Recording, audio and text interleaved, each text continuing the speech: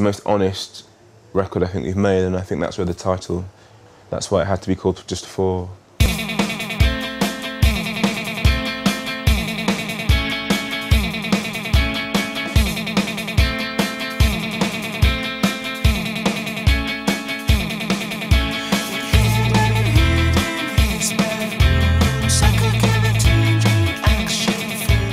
I wouldn't have been able to have made this record four if I hadn't done this record by myself.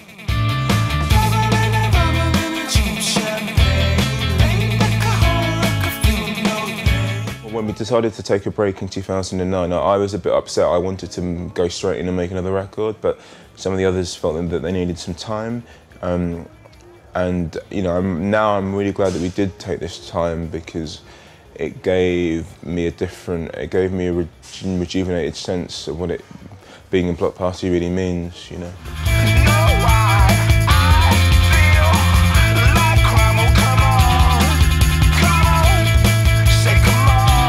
At the time, I wanted to kill them, um, but I, uh, but it was the best thing for, for us as a band um, because if we had made a record in 2009 as I'd wanted, I don't think, you know, it probably would have been the end of the band there and then. I think with the way that we were interacting, and it would have been the end of us.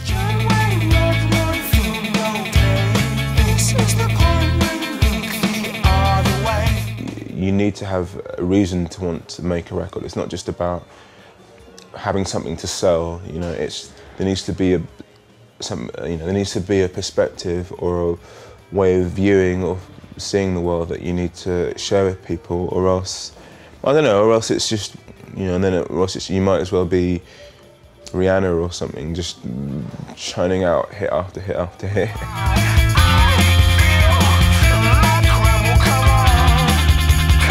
if we were going to make a, a stripped down rock album, then it would need to be like the most intense rock music that we could make. It couldn't, it wouldn't just be enough just us doing what we did five, six years ago, it would have to be a completely different side of, of what we were capable of.